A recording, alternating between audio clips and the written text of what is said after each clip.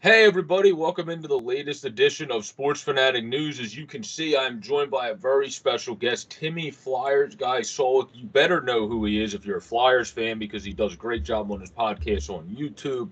And uh, do you do do you put it on other podcast services as well? Uh, yeah, yeah. I um, I watch um Chris Mayer's uh podcast Oh yeah, Flyers fan mania '93. Yeah. Chris, yeah, he's been a guest on here a couple times. He does great work, uh, wise beyond his years. Um, he does a fantastic job. I agree with that. Uh, and then uh, Flyers and Indy Gritty getting gritty with the podcast is Yarif and Vasily. That's uh, the other site that I do stuff for. So um, they all do great stuff. But we're start um, we're start with the good. Um, I guess, and go to the fact that the Reading Royals, Timmy, as I know you've been paying attention, are up 2 0 in the series yeah. because of a out of character win in game one, kind of yeah baiting getting baited into more physical play by the Maine Mariners, which is who still hold the Broad Street Bullies tone from when they were the Flyers affiliate during the Schneider days. Oh yeah. Um, and they try to bait you into stuff, but the Royals were still able to walk away with a three-two win in game one and they talked about how much they wanted to get Flodella shut out in game one. Well, guess what they're able to do in game two? Get him that three nothing shutout. So, what were your thoughts of just the overall play of the team in the first two games? Because I don't think it could have went much better. in game one, first and second period, they were they're the best periods. But mm-hmm. um, I have to say, the third period almost got away from them. Uh, did something very costly it really cost the team in the end, and t- that almost ended up biting them in the ass. But um, but you know, Saulnier, I I know he probably was getting a little amount of momentum going, and maybe he took it a little too far. But you know, sometimes that happens. But I'm sure next game he'll know better, and I'll be a better player for it. Yeah, I completely agree. I think the most important part of those, uh, when you do something like that, is the second part you said, where you grow and learn from the experience and become a better player for the mistake you just made, which is what I've, I've seen Saulnier do multiple times in his five-year uh, pro career in the A- AHL level, where I think would do it at the ECHL because he's already been dominating. It's just we lost him for one game yesterday. The team it showed the depth. Well, actually, that's a good question to go to secondary since we just talked about him being out and other guys stepping up. It showed the depth his team has with having guys like Cooper and Mike Shen being able to just step right in. You also still have Jackson Cressy who hasn't played a playoff game yet. So um, it, it shows the depth that this team has being able to kind of have those guys. So like I know I've talked about this before, but doesn't it seem like with the Flyers, which is great for the Royals, but not great for the Flyers overall organization. That the best development system and the best coach are probably in Double A. Yeah, I I I agree with that because in the minors, they you know, but the players in the minors they want to go the uh, the extra mile to be a good yep. team, to be good players, and they they work extra hard to get up to the top, to the uh, big club.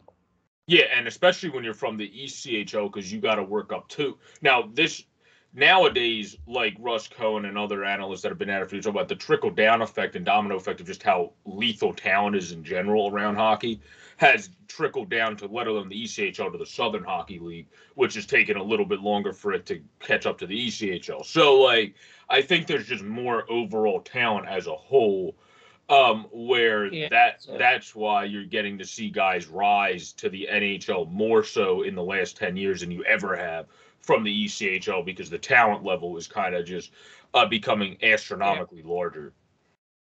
Well, what I see from from Hayden Hodgson, like he came from the ECHL, yep. went to the AHL, came up to the Flyers, and he played well for the Flyers. I got I got to admit that he you you played well. You really showed some grit out there.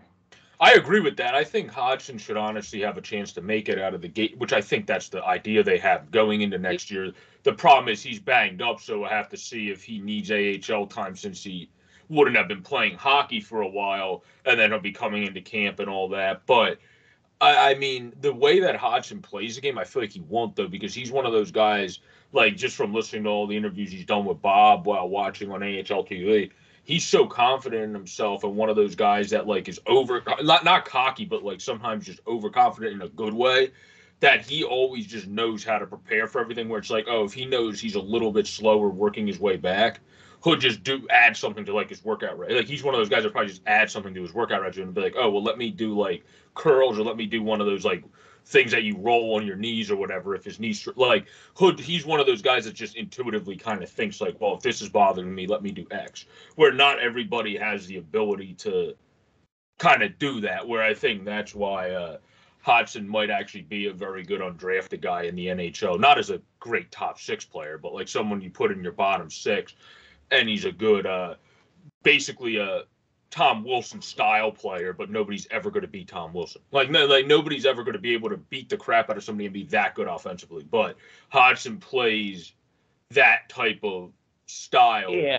where you love him if he's on your team and you don't love him if he's not. Like, He uh he's kind of like what you call a uh, a throwback to the the Philadelphia Phantoms days. Yeah, he is. He's a throwback to when the Phantoms were definitely the snarl boys of the uh, AHL with the Philadelphia. That's a good. That's a good uh, way to put it as well.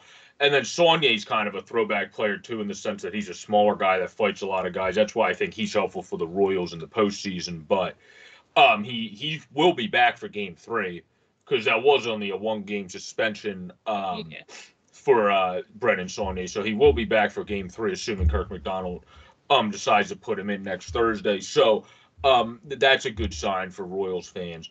But as we wrap up uh, talking about Reading, and then we're going to the Flyers, and we're in with Lehigh, since Lehigh is at least had a mediocre to average season where the Flyers obviously did not Yeah. uh, were uh, go to the goaltending. I think the biggest thing for the Royals this year has been they've had so many different goaltenders, but a lot of them have been pretty good goaltenders because Kirk MacDonald's so good at. We talked about it already earlier uh, in the first five minutes, but Kirk MacDonald's so good at assessing talent, and I mean he got a goaltender for one game uh, right before, of course, they were able to uh, start the game. Yeah. Not, not like hours before they got Brody Yeah. So, yeah, so I it mean, correctly. yeah, and then he almost fought Adirondacks goalie in the first game. Yeah. And yeah, I was scared that we were gonna blow that game, that divisional game, because of what Saulnier did. He got a penalty. They did. They got a power play. But luckily, luckily we killed it off, won the division, and won the conference. So thank God for that. Yeah, yeah, I, I'm I'm happy everything the way everything went, and it's going to be the reason I want this series to end, which I think it will end in Maine. I don't think I said that on the. It's just I don't think we'll be back in Santander Arena for this series, but the, I because the regular season is not a Yeah, judge for I me. think- honestly, I think the the Royals are a, a much better team than the Maine Mariners. I I just see they're they're they're, they're they've been they've been um outplaying Maine in the in the last two games, so that's a good sign. Yeah, exactly. And I and and- and what I was going to say is I can't go off of the regular season. Oh, nobody won against each other on the road because in the regular season, the ECHL schedule is a gauntlet, especially in a COVID year where you have like five and games in seven days, or like you know you can't No, go off of, like- you can't go off of that. Now they're having this long break. Everyone's going to have fresh legs coming into that three and three if it is a three and three, or it could just be Thursday Friday if they sweep them. Uh, but uh, th- so I think that's a completely different precedent than the way it was in the regular season when these teams are playing each other away. In the I think it was six meetings they had with the Maine Mariners in the regular season. It was either five or six, I think. It was the least of the division. The the, the team they played the least in the division was Maine. So that's also why Yeah. this postseason series was interesting. But to me, just to wrap it up with the Royals, their goaltending, I think, though, is honestly with now Logan Flodella and that rocking those uh, red and black patch from Acadia University. Uh, he's one of the already best goalies in the league since he came in, and then you have one of the best of all time when he comes back down from the Phantoms, because the Phantoms have been officially eliminated from the playoffs. In Yeah, Pat Nagle. and Nagle. So I think their goaltending is a okay. They also have Hanson eligible to come down, so he's a very solid young goaltender. And then Usti's injured, so I don't think he'll be down. But they have a bunch of different options in net, and that's always Yeah. a good thing to have. And the thing with AHL, ECHL, it's way different than the NHL because in the ECHL, sometimes you'll see them if they have a back to back, they'll use a different goalie in the next game. Mm-hmm. No, yeah, definitely the NHL the rather now with the Royals, Kirk's kind of had more the NHL approach with Flodell, just because Logan Flodell's yeah. been so sharp that he's like, well, I'm not taking this guy. Like, I'm pretty sure he played a three and three the one week, or or like like like I think like with uh Flo, it's just like, well, if you if you're sharp and you're telling me that you're good to go, I'm just gonna like like go, just just keep doing your thing, uh, because he made the joke in the press conference like when uh we asked him like, so what got Flodell ingratiated in his uh, teammates so quickly? And he's like, well, if you have a 930 save percentage, that's a pretty easy way to do it. so, which is true. If you come in and have one of the best save percentages in the history of the league in your first 20 games of the team, probably a good way to get you uh, get your team to trust you and really like you uh, yeah. off the bat.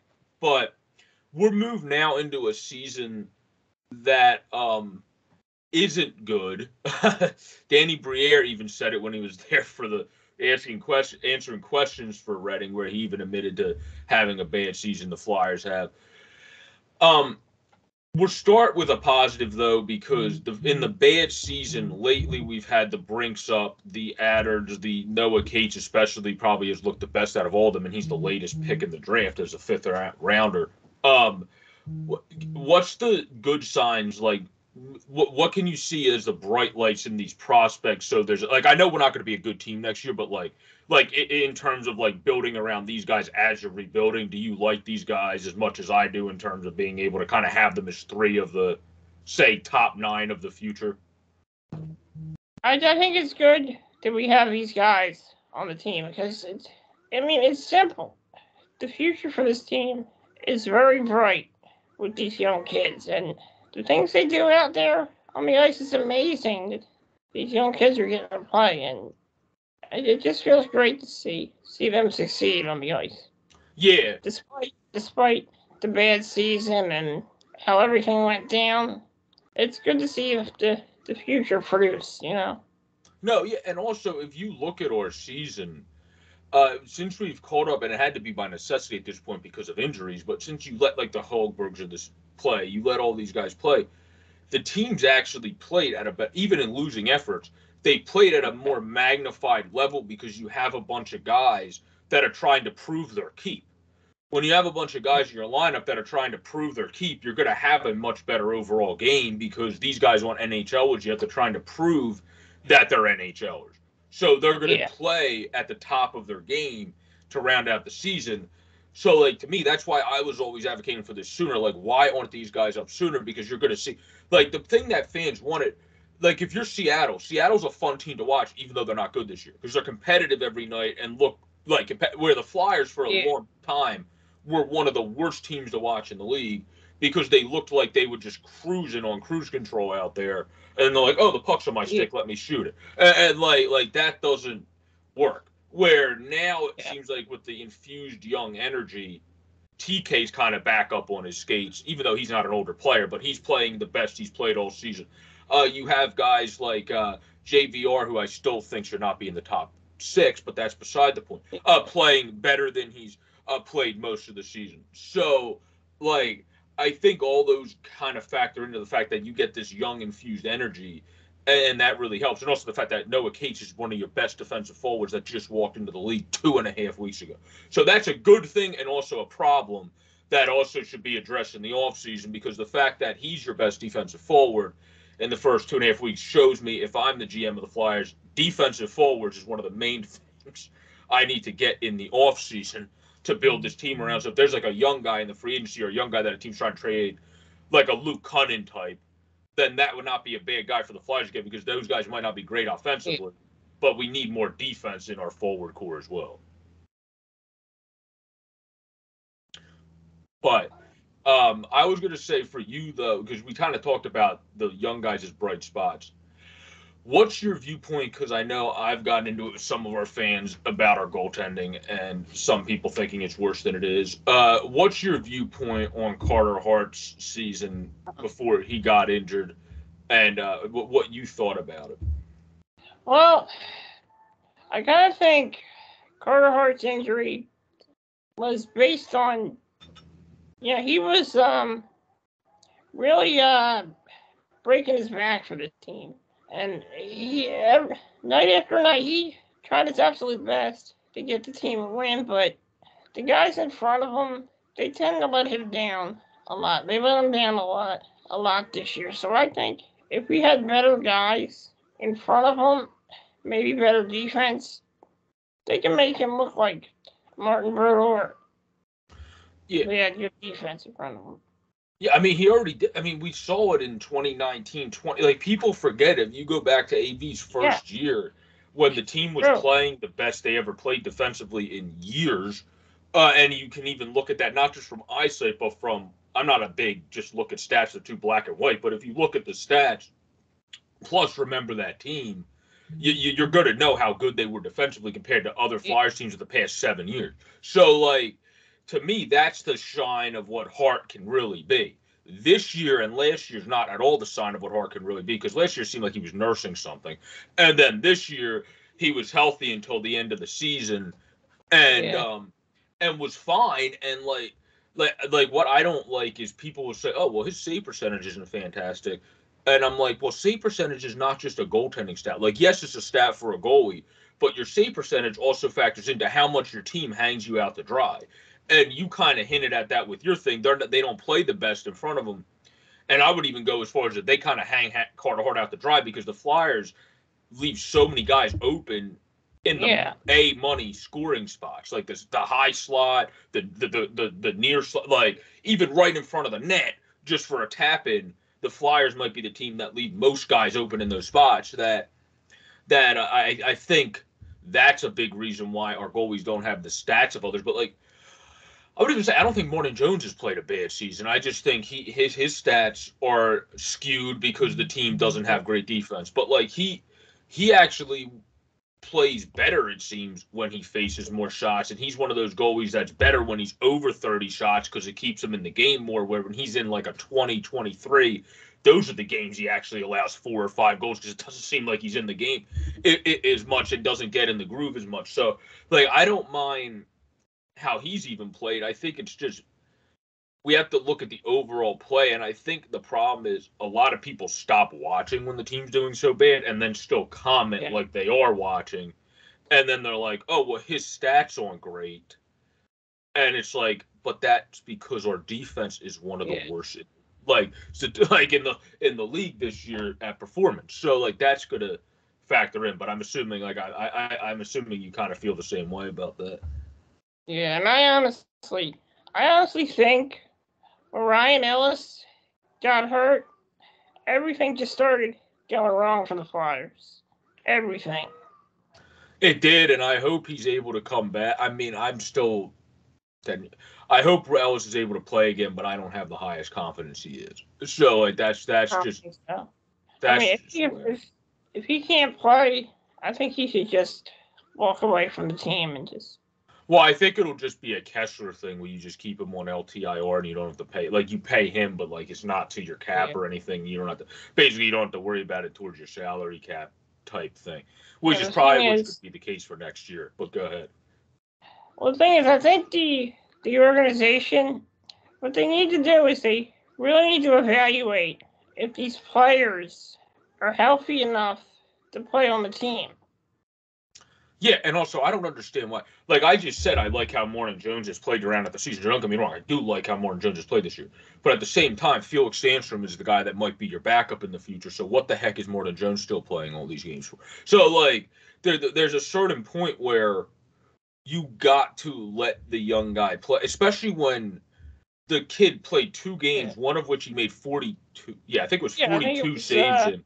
Uh, yeah, the same that was 42 yeah. saves, and then he's the only reason we only lost four nothing to the Rangers and not 40 to nothing, because that game was one of the worst defensive yeah, games they, I've seen us play. They hung him out to dry.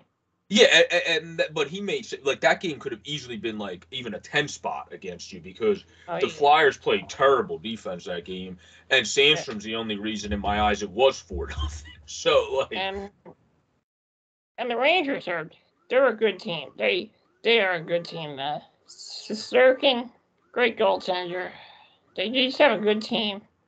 Oh yeah, well he has to be the, the, the that's the most set in stone award. Shesterkin Vezina. If he doesn't win the Vezina, I don't know what people are looking at. yeah, I kind of I of think he might be the, the second coming of Lundqvist. Yeah, yeah, that would be that would be huge for them. Um, he honestly seems like he might even be more like Bobrovsky athletic, quick movements Eston Lundqvist, where Hank was just one of the more technically sound goats that made him so good. Where like Shesterkin's. Yeah technically sound, but also kind of like, uh, oh, if I'm caught over here, I can do like a crow hop over yeah. here somehow and save it. And it mm. makes like no sense whatsoever. Like there's multiple saves at that. He looked like he was caught on the other side of the net this year, Shesterkin. And then he just somehow gets to the other side of the net, either doing a split or diving. And you're just like, how did this happen? Yeah, it, was, it was supposed to be Georgiev was was supposed to be the guy, but he his stats his stats deteriorated. Yeah, and I think once they saw how good Igor was doing overseas, and once he came over, he kind of quickly became the guy over, like you were saying, Georgiev, because Georgiev was starting to just kind of be the backup to whoever was there until Shesterkin came up and platooning with whoever was there, and then uh, when it was Hank or when Hank was injured, I forget who filled in, uh, but uh, they were able to do that, and then Shesterkin came up, and uh, he's really just taking the mantle by the horns. Georgiev, though, I think if he goes somewhere else, might be able to. At this point, I think he's best suited to move yeah. on from the Rangers. Yeah. But anyway, uh, let's get into wrapping up. We talked about the first two teams, about the great Reading Royals of this year that are up 2 0 in the series. Uh, if you want to check out those games and pay attention to those games next Thursday, go on Mixlr, the Royals Mixlr, and you can listen to them. That's for free or if you want to get FloSports, which doesn't just have hockey on it, it also has a bunch of other stuff if you're interested in sports as a whole and independent leagues and all that, as baseball and all that. Uh, so, uh, so, you could definitely get into that. Also, college hockey, but uh, you can watch it on there. For the Phantoms, that's AHL TV for people that don't know, and then also yeah. on the Phantoms 365 app. But for the Philadelphia Flyers, um, that's also on uh, the NHL app. If you want to listen to it for free, you don't have to pay for that. And then people know where to get the games if you have to pay for it for the Flyers. But when it comes to the Lehigh Valley Phantoms, my take on this season is it, one word is inconsistency, but the other thing is your bad start kicked your butt. The bad the bad start in yeah. October November is what did them in. Yeah, um, I actually say it's it's got to be both. You know, inconsistency and the bad start. I mean, uh, the injury to Wade Allison in training camp, the the injury to to Zayde Wisdom really affected them in the long run, and they started getting inconsistent. There was the injuries to Sandstrom and Ersson, and the constant goalie carousel really affected the team's play. Yeah, yeah, they did have injuries early at the, especially when the guys like from covering guys they never like using that excuse. I used to be like, okay, yeah, injuries they, they affect it. Now usually I just since hockey players don't like using that excuse, I don't give it to them. So I would just say you still could have found a way to because this team did have guys that on paper yeah. did do really good in the past, and for the first two months of the season they didn't, and then in December onward, yeah. those same guys started picking up their uh, yeah. play. So I think, uh, I think um, they really could have been better in the first because inconsistency is why they haven't made absolutely. it. But go ahead. Yeah, I absolutely agree there. Yeah, because I was gonna say inconsistency is why they didn't make it, but at the same time, it's not just inconsistency. It's the fact that you wouldn't have to have had to win the final five in order to have a chance to make it if you won even three more games potentially in the first two months of the season. That that's all I'm saying. Like it's not even a big group of games you had to be better in in the first two months of the season. Now hindsight being 2020, it's like you had to win literally maybe three or four more games and the, and the, and then you would have been fine at this point, and you would have been sitting a lot more pretty. And the thing is, they had so many chances to get that last playoff spot. Hartford was doing horrible. Yeah, uh, uh, they they could have caught Hartford, but last night's loss to the Bears really messed up their chances, unfortunately. Well, And now they're out. Now they're actually eliminated. And- they're officially eliminated now, so they can't get in now. The, the last time the Phantoms made the playoffs was in 2018 when they played that game against the Charlotte Checkers. It went to five, I think, four overtimes, and um, yeah, I think it was four. Ryan made like 98 saves.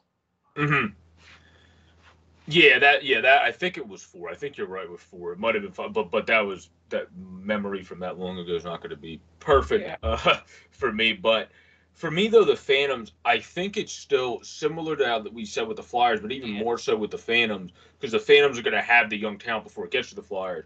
You got Samu Tuomaala coming back over, who started the season with the Phantoms, Yeah. then went overseas and did fantastic in his homeland he'll be back and playing in the AHL. That's good. That, that's going to really help you. Uh, Wisdom will Yeah. be playing next year. Foerster will be starting there next year, so those guys can build themselves. So, I think naturally this team, and also with the fact that everybody on the team from uh, the Laczynski's coming back, who probably make the Flyers next year, so you don't really have to count him. But like Wiley, Shushko's been playing great. Strom's been establishing himself into a role. Uh, so like everybody, Ratcliffe's been doing good into the role they put him in. And then whenever you needed to lo- use Logan, uh, not Logan Day, whenever you had to use Ryan McKinnon, he's even stepped up. And then Logan Day to me is a pretty underrated defenseman that's filled it well. Then Alex Kyle for being a small guy is good in front of the net. So they have guys. I think it's just you have to have these prospects come in that are still coming in from our system, and then as those guys come in, the few I mentioned and others, that's just going to make the Phantoms naturally better because they were better the last few months of the season. That next year I wouldn't even be surprised if they're a playoff team because you have like if you have wisdom, if you have Tuomaala, you're getting so much skill added into that lineup and Foerster. Yeah, score. So that's going to really go. And also, um, Tyson Foerster too. Exactly. Tyson Yeah. Yeah, that's. Uh, I think the only reason they kept him in the juniors was for health. There's no reason to rush him back. You might as well let him just play amongst his own age group and work his way back rather than have him get banged up again in an AHL game. That would just be stupid. So I think that's the reason why they um, allowed him to stay in the juniors. Then he'll be back kicking butt like you just hinted at next year. But So, um, I just have a question. Did the Reading Royals? Did they have a TV deal yet? They do not. No, the Royals. It's it's on. Flo- they used to be uh, ECHL TV, and then now ECHL TV is just through FloSports. So if you download a float, the FloSports, and then whatever I, I forget what the pay is for that, but uh, and then Yeah. you get FloSports. That's basically the TV deal. It's a streaming service. It's not a TV. Well, also, they were also on something called BCTV. At one time, Berks County Television or something. Okay, well, I'm not up in Berks County, so yeah, you could be right. I'm not. I'm not. I'm located back towards Philadelphia, so I'm not up in Berks County. So yeah, you might you might be right about that though, Yeah. because sometimes Phantoms games are done on on are on uh, a WFMZ, which is the channel. Yeah, and I 69. honestly, I honestly think they need to put more Phantoms games on TV. Oh yeah, yeah. I mean, well, up there they do because it has Service Electric Network, where the problem is. You have to have service. Yeah, you have to have Service Electric Network, which is only kind of up there unless if you pay extra for it. Where I think that's why they don't do it on 69 FMZ all the time because of cop not copyright, but because of the contractual obligations. But yeah, I agree. It would be nice to have more on, but um, I I think uh, for me. Uh, the AHL TV though I do like having because it's easy. Like the AHL TV, it, it's probably one of the easier ones to go into. Flow's not bad. Yeah, it's it just Flow has issues with sound and lag sometimes that sometimes it takes a where AHL tends to just be really quick. Yeah, I watched a couple of Reading Royals games, and the volume was so so low I could hardly hear the announcers. Yeah, it's uh, because Flow's because Mixlr. The problem is if we turn it up too loud, then Mixlr's loud as heck, and then Flow's at like a regular volume. So it's like, it's like with Flow, the sound's weird. So like it's like if you turn it up too loud, then Mixlr's like, yeah, that was a great play, but and it sounds like you're like screaming Yeah. into them. And then Flo's just like, yeah, that was a great play by Braden. Lo-. And, and it sounds normal. So like, it, like it's kind of like balancing out the the two um, sides of that. But anyway, Timmy, we're at about 30 minutes. So I really thank you uh, for joining. I'm definitely going to have you on again, though. It's going to be, and uh, as much as you want to hop on, you're definitely welcome to when I have free time. But if you have anywhere you want to uh, share um, out so people can follow you and continue to follow your podcast, I definitely will give you the opportunity to do that now. Okay, my um my Twitter is at Flyers Guy eighty six fifty four. My Instagram is Timmy underscore fly Timmy underscore Flyers Guy. My YouTube channel is Timmy Flyers Guy. My Facebook is Timmy Flyers Guy Sulak. And um make sure you guys uh check out my videos, check out all my series on my uh check out pregame report, Flyers pregame report. Also check out Flyers minor league report, Royals playoff report, and also uh subscribe leave a like on my videos, uh subscribe to my channel, hit the notification bell, and you'll get all my content. Yep. Well, thank you, Timmy, for joining. You can follow me, uh, as you all know, JJ Boric, uh, 26 on Twitter. You can look up, I actually have two different Facebooks. One's older, one's newer. So if you want to friend both of them, sure, uh, do that. Uh, and that's just Joseph Boric. One might be Joe Boric. You'll find it. Uh, and then uh, Instagram is Boric6789. I would recommend if you're going to contact um, me to people that listen to the podcast to do that through. Twitter because that's the quickest for me. Uh, but everybody have a great, safe, pleasant day. Please continue to subscribe down below to help us grow. And I really appreciate you guys' love and support this far. I thank Timmy for joining us. Go follow his stuff, guys. Stay safe out there and enjoy Yep. the rest of the hockey season and the postseason for the Reading Royals. Peace out, everybody.